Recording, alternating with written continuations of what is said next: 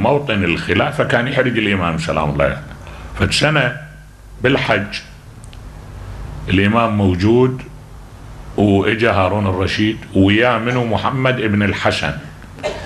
محمد ابن الحسن تقدر تعتبره الركيزة للفقه الحنفي.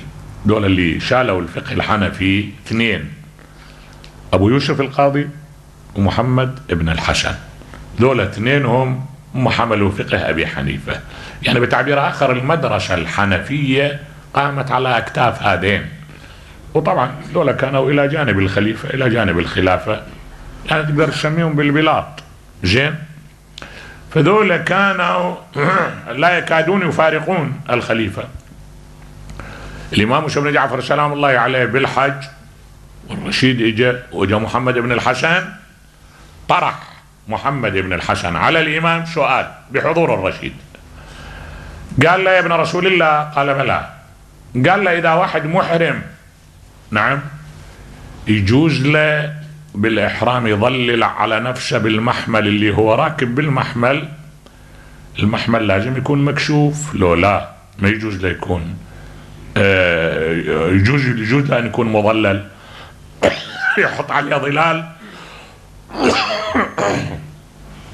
قال للإمام لا يجوز. ما يعني ما يمكن أن يغطي للمحمل. لازم يبقى المحمل مكشوف. قال له زين إذا أراد يمشي على رجليه يجوز له بأثناء المشي يصير تحت الظل؟ قال بلى باختياره يجوز له. ضحك تضاحك محمد بن الحسن. تضاحك قال يعني شو الفرق بين الاثنين؟ أه؟ وشو الفرق؟ يعني هناك كان راكب على ناقة والناقة تمشي وهنا على رجليه هو يمشي.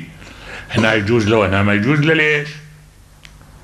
قال للإمام اسمع يا محمد أنت تهزأ بسنة رسول الله؟ قال رسول الله هكذا كان. رسول الله كان بالنسبة إلى راحلته الراحلة مكشوفة ما يظلل عليها.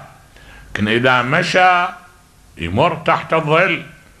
والسنة لا تقاس وإذا قيست محقت. وهي المشكلة هي هاي. هي المشكلة إحنا باب القياس الواقع ما هوش عندنا يعني. يعني أكد لك الشوافع يرفضون للقياس جماعة من فقهاء المسلمين الأخر يرفضون للقياس أكو عندنا مدرسة لرفض القياس كبيرة. وعندنا مفروض لأن الأحكام لا تقاس ما عندنا قياس